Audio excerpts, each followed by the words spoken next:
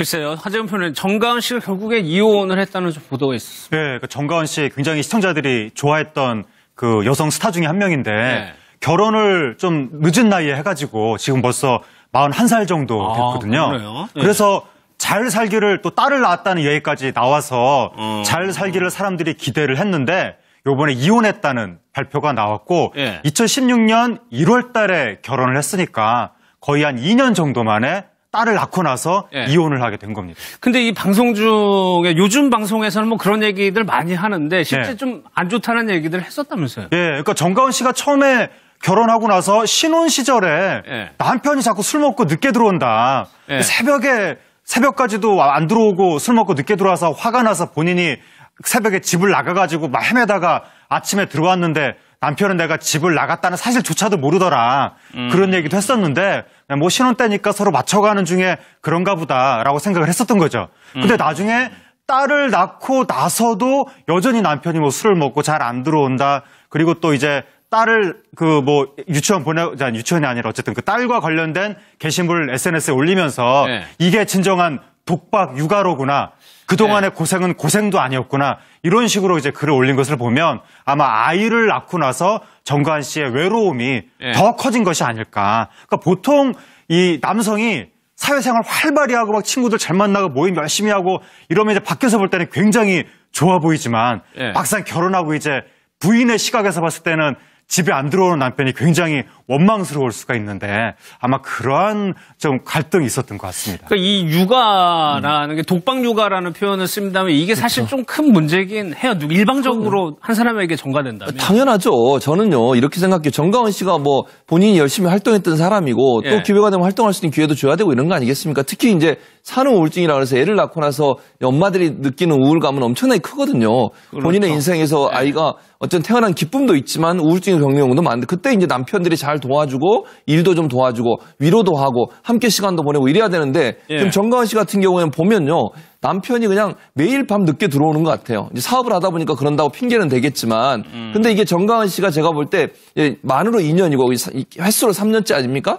이혼하기 전까지 많은 노력을 했던 것 같아요. 남편한테 좀 일찍 좀 들어와 달라. 또 아이하고 놀아, 놀아줬으면 좋겠다. 이게 이제 엄마의 마음 아니겠어요? 근데 예. 이제 남편은 제가 볼 때 그러면 싸움이 된다고 하는 걸 보면 그 내용을 받아들이지 않는 거죠. 그러니까 정가은 씨가 어떤 요청을 했을 때 아내가 요청해서 남편이 받아들여줬으면 사실은 어느 정도 문제 해결이 됐을 텐데 예. 제가 볼 때는 그걸 받아들여주지 않기 때문에 충돌이 생기고 그럼 결국 이제 아내 입장에서는 그게 학습 효과가 되는 거 아니겠어요? 내가 이런 얘기하면 결국 반응이 뭐 강하게 나오고 그러면 싸움이 되니까 본인이 참는 거죠 그냥 참고 참고 참아서 그걸 쌓아놓고 있다 보면 어느 날 폭발하게 되는데 그게 바로 지금의 시점이 아닌가 예. 그러니까 본인이 얼마나 힘들었으면 기다리다 기다리다 지금 이혼까지 하게 됐겠습니까 그런 차원에서 본다고 하면 우리 남편들이 정신 똑바로 차리셔야 돼요 지금 독박 육아 시켜도 될 때가 아니에요 예. 저도 우리 애 키울 때 얼마나 열심히 했는지 모릅니다. 살아남기 위해서. 그러니까 어쨌든 남편들이 아내의 어떤 아픔 또 어, 외로움 또는 그 육아의 어떤 고통 이런 부분을 좀 나눠 가지려는 생각을 갖지 않으면요. 예. 행복한 결혼 생활 하기 힘들어요. 그러니까 예. 젊은 우리 남편분들이 꼭 명심하시고 아내들을 잘 도와주시기 바랍니다. 근데 이번에 정가은 씨는 좀 특이했던 게 그게 SNS로 되게 실시간으로 좀 전파가 됐던 것 같아요. 그러니까 이제 요즘 연예인들 같은 경우에는 자신의 생활 그 자체를 SNS에 많이 올리기 때문에 네.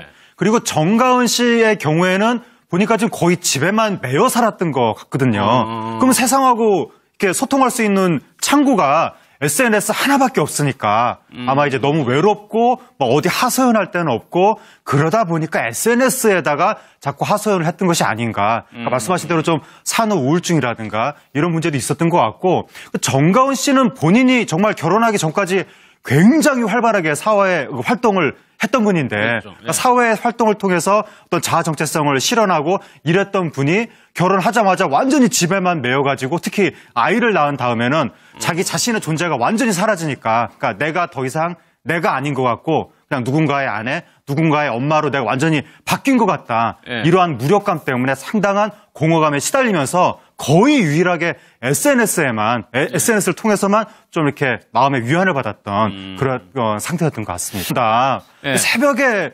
새벽까지도 안 들어오고 술 먹고 늦게 들어와서 화가 나서 본인이 새벽에 집을 나가가지고 막 헤매다가 아침에 들어왔는데 남편은 내가 집을 나갔다는 사실조차도 모르더라. 그런 얘기도 했었는데 뭐 신혼 때니까 서로 맞춰가는 중에 그런가 보다라고 생각을 했었던 거죠. 근데 나중에 딸을 낳고 나서도 여전히 남편이 뭐 술을 먹고 잘 안 들어온다. 그리고 또 이제 딸을 그 뭐 유치원 보내 아니, 유치원이 아니라 어쨌든 그 딸과 관련된 게시물을 SNS에 올리면서 네. 이게 진정한 독박 육아로구나.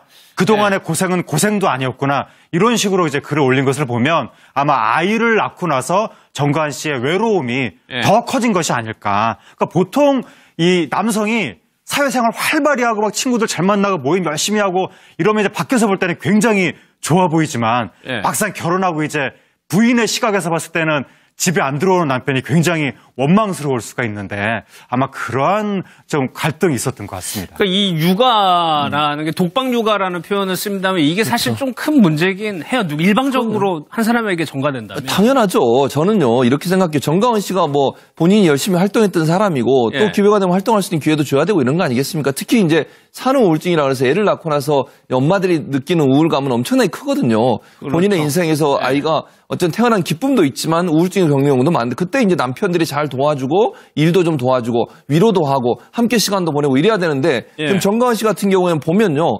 남편이 그냥 매일 밤 늦게 들어오는 것 같아요. 이제 사업을 하다 보니까 그런다고 핑계는 되겠지만, 근데 이게 정가은 씨가 제가 볼 때 만으로 2년이고 이 사- 이 횟수로 3년째 아닙니까?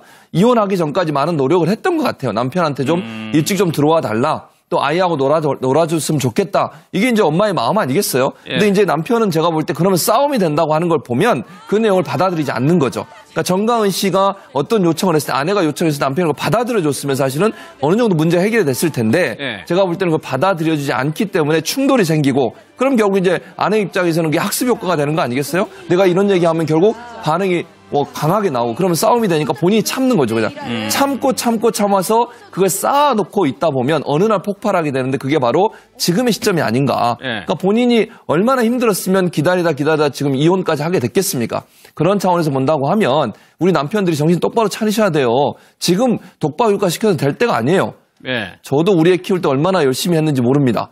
살아남기 위해서. 그러니까 어쨌든 남편들이 아내의 어떤 아픔 또 어, 외로움 또는 그 육아의 어떤 고통 이런 부분을 좀 나눠 가지려는 생각을 갖지 않으면요. 예. 행복한 결혼 생활 하기 힘들어요. 그러니까 예. 젊은 우리 남편분들을 꼭 명심하시고 아내들을 잘 도와주시기 바랍니다. 근데 이번에 정가은 씨는 좀 특이했던 게 그게 글쎄요. 하재훈 표는 정가은 씨가 결국에 이혼을 했다는 좀 보도가 있었어요. 네, 그 정가은 씨 굉장히 시청자들이 좋아했던 그 여성 스타 중에 한 명인데 네. 결혼을 좀 늦은 나이에 해가지고 지금 벌써 41살 정도 아, 됐거든요. 네. 그래서 잘 살기를 또 딸을 낳았다는 얘기까지 나와서 어. 잘 살기를 사람들이 기대를 했는데 요번에 이혼했다는 발표가 나왔고 예. 2016년 1월 달에 결혼을 했으니까 거의 한 2년 정도 만에 딸을 낳고 나서 예. 이혼을 하게 된 겁니다. 근데 이 방송 중에 요즘 방송에서는 뭐 그런 얘기들 많이 하는데 실제 네. 좀안 좋다는 얘기들 했었다면서요. 예, 그러니까 정가은 씨가 처음에 결혼하고 나서 신혼 시절에 예. 남편이 자꾸 술 먹고 늦게 들어온